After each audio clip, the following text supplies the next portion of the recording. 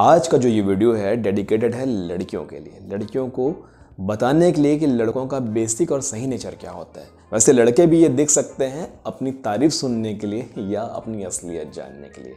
आज मैं behavioural psychology का एक ऐसा फैक्टर सामने रखने वाला हूँ, जिससे जानना एक्चुअली हर फीमेल को ज़रूरी है, क्योंकि अक्सर वो गलतियाँ कर बैठती हैं पार्टनर को चुनने के लिए और इस वजह से उनके एक्स की संख्या बढ़ती है।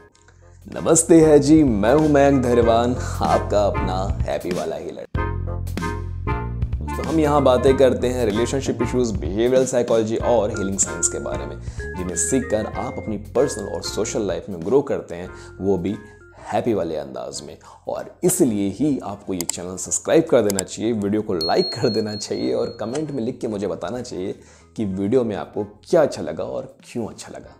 तो दोस्तों, आज मैं चार फैक्टर पॉजिटिव बताऊँगा और चार फैक्टर नेगेटिव बताऊँगा जो लड़कियों को एक्चुअली समझना चाहिए किसी भी रिलेशनशिप में पढ़ने से पहले या किसी लड़के को जज करने से पहले।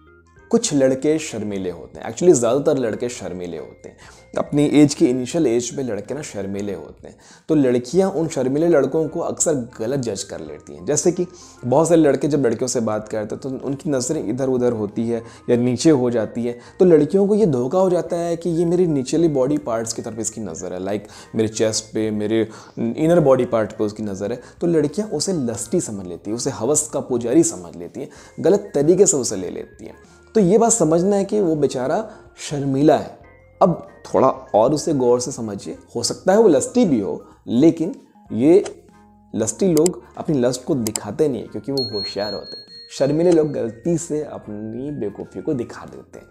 तो मेरी बहनों, समझो, अगर किसी बंदे को आप पसंद कर रही है उसके लुक्स के बेस पे या किसी भी रीज़न से तो सिर्फ़ इसलिए कि वो शर्मिला है इधर उधर देख रहा है, आप उसे रिजेक्ट मत कीजिए, उसके बारे में थोड़ा और रिसर्च कर लीजिए। दूसरा, कुछ लड़के कर्टियस भी होते हैं। हमारी इंडियन सोसाइटी कुछ ऐसी है जहाँ हमें सिखाया जाता है कि भाई, लड़कियों की रिस्पेक्ट करो, लड़कियों की हेल्प करो, लड़कियों को सपोर्ट करो, है ना?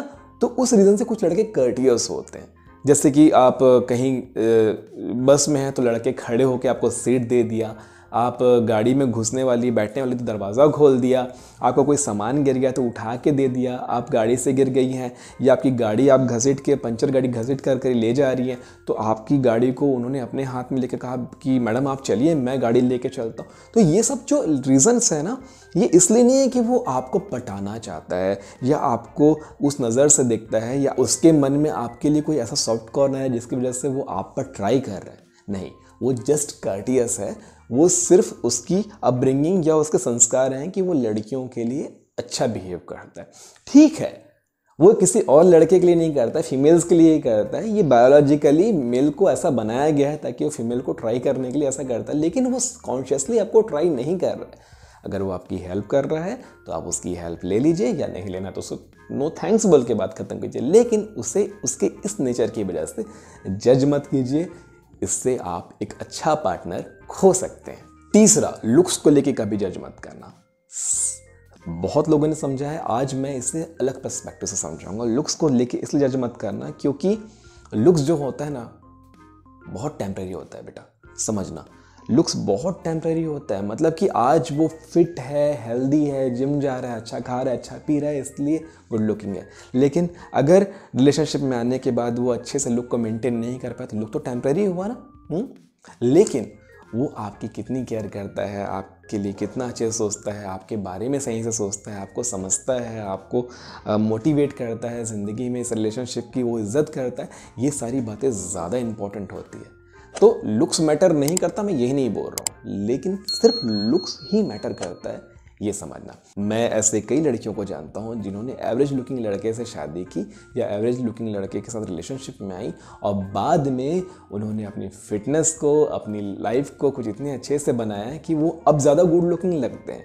एज के साथ वो ज़्यादा गुड लुकिंग लगते हैं। ऐसे कितने बॉलीवुड हीरोज़ हैं जो अपनी फिटनेस की वजह से ज़्यादा गुड लुकिंग लगते हैं। कितने ऐसे सेलिब्रिटी हैं जो अपनी फिटनेस की वजह से ज़्यादा गुड लुकिंग लगते हैं। और फिटनेस हर किसी के हाथ में होता है। अच्छा खाइए वर्कआउट कीजिए और आप फिट हो जाएँगे।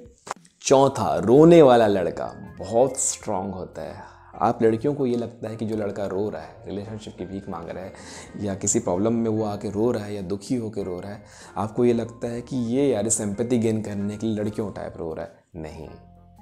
रोने से ना उसका दुख निकल जाएगा, रोने से उसका फ्रस्ट्रेशन बाहर निकल जाएगा, उसके बाद वो कुछ बड़ा कर जाएगा। तो रोने वाले लड़के बहुत स्ट्रांग होते हैं, खुद को भी संभालने लायक होते हैं और आपको भी संभालने लायक होते हैं। तो रोने वाले लड़के को कभी भी उस नज़र से मत देखना कि ये रो रहा है तो कमज़ोर है। बचपन से हम लड़कों को ना ये सिखाया जाता है कि लड़कियों की तरह मत रो, कमज़ोर दिखोगे। लेकिन ये साइकोलॉजिकली प्रूफ है कि रोना हमेशा आपको स्ट्रांग बनाता है। आखिर दिल के अंदर जो दर्द है, उसे अंदर रखने से अच्छा ना, उसे रोकर बाहर निकाल दो और फिर स्ट्रांग बन जाओ और फिर खेल जाओ। जो भी प्रॉब्लम्स है उससे लड़ जाओ। अब आते हैं नेगेटिव साइड पर, जिससे हमेशा ध्यान रखना, हमेशा बचना है इन सब चीज़ों से। चाहे आप कितने भी अमीर लड़के से शादी कर रही हो, चाहे कितने भी अमीर लड़के के साथ रिलेशनशिप में आ रही हो, कभी भी जस्ट अ हाउस वाइफ बनकर बच्चे पैदा करने के बारे में मत सोचना, क्योंकि कोई भी लड़का आपकी इज़्ज़त नहीं करेगा।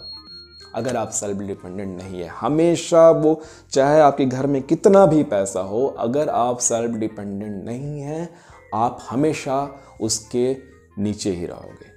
इसके नीचे रहोगे। फिर वो हाथ यहाँ पे रखे, यहाँ पे रखे, यहाँ पे रखे, या अपने जूते के पास रखे।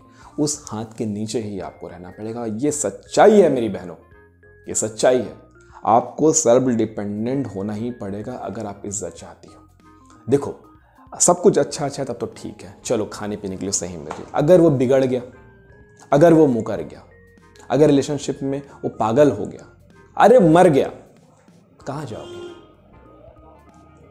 माँ बाप के पास जाओगे माँ बाप स्वीकार करेंगे माँ बाप रखेंगे, जिल्लत की ज़िंदगी जियोगे, अपने और अपने बच्चों को कैसे पालोगे?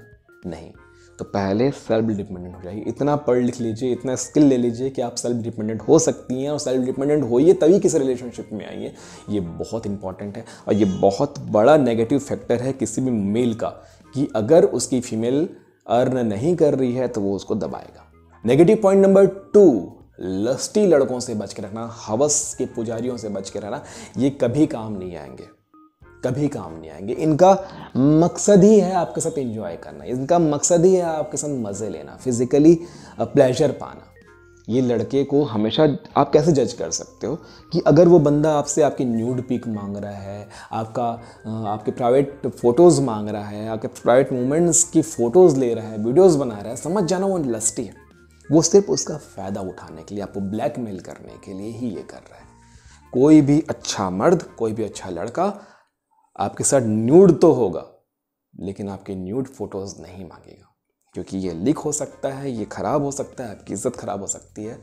हर सुपीरियर मैन हर एक अच्छा लड़का, हर एक अच्छा मेल आपकी इज़्ज़त के बारे में पहले सोचेगा। हर उस चीज़ से आपको बचाएगा जिससे आपकी इज़्ज़त खराब हो सकती है।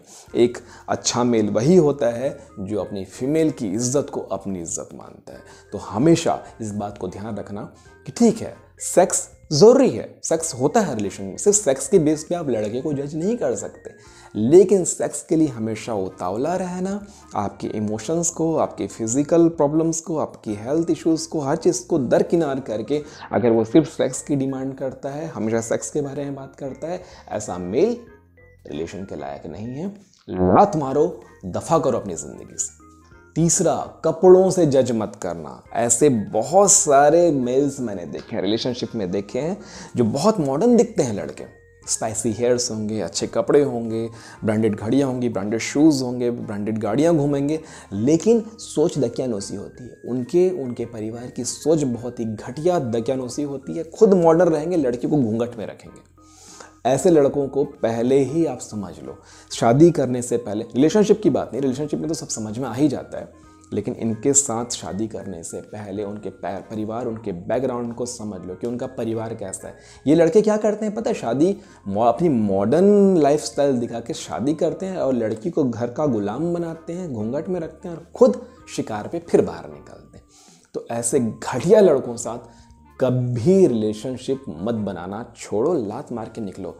क्योंकि मैंने ऐसे कई सिंपल लुकिंग लड़कों को देखा है जो सिंपल ड्रेस पहनते हैं सिंपल लुक्स रखते हैं, लेकिन उनका जो लाइफस्टाइल है, उनका जो सोच है, बहुत मॉडर्न होता है ब्रॉड बहुत ब्रॉड मेंटालिटी रखते हैं। खुद सिंपल होते हैं, लेकिन वाइफ को, अपनी अपनी गर्लफ्रेंड अपनी वाइफ को बहुत ही अच्छी छूट देते हैं, बहुत ही अच्छे कपड़े पहनने का मौका देते हैं और उनका सपोर्ट करते हैं, उन्हें सहारा देते हैं। तो ऐसे लड़कों को हमेशा समझना लुक्स के बेस पर कभी जज मत करना कि वो इतना मॉडर्न है तो आपको भी मॉडर्न लाइफस्टाइल देगा।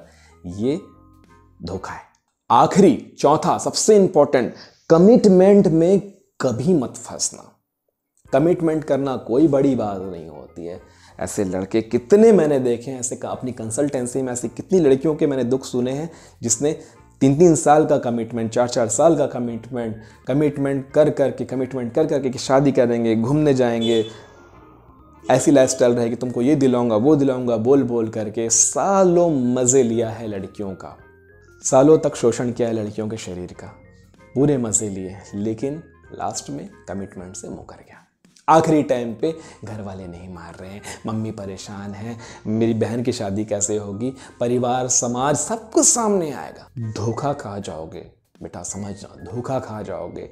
सिर्फ़ कमिटमेंट के नाम से आप अपने अंदर कोई ऐसी फ्यूचर प्लानिंग मत कर लो कि आपका सब कुछ उस फ्यूचर प्लानिंग के बिहाफ में टिका हुआ है। ठीक है रिलेशनशिप में रहो, मज़े करो, ईमानदारी से रहो, खुश रहो। लेकिन अपने लिए ना हमेशा एक बेस बना के चलना है। उसकी कमिटमेंट के भरोसे कुछ नहीं होगा। ये बात आपको हमेशा समझना है। ये थी कुछ आठ बातें जो लड़कों के बारे में समझनी बहुत ज़रूरी थी फीमेल्स को और मेल्स को भी। ऐसी ही साइकोलॉजिकल बातों को हम डिस्कस करते रहेंगे बिहेवियरल साइकोलॉजी और रिलेशनशिप इश्यूज़ के प्रॉब्लम्स को डिस्कस करते रहेंगे आने वाली वीडियोस पे। वीडियो पे कुछ भी अच्छा लगा कमेंट में ज़रूर बताना लाइक करना और चैनल को सब्सक्राइब ज़रूर करना यार। मिलते हैं अगली वीडियो में। तब तक के लिए नमस्ते है जी।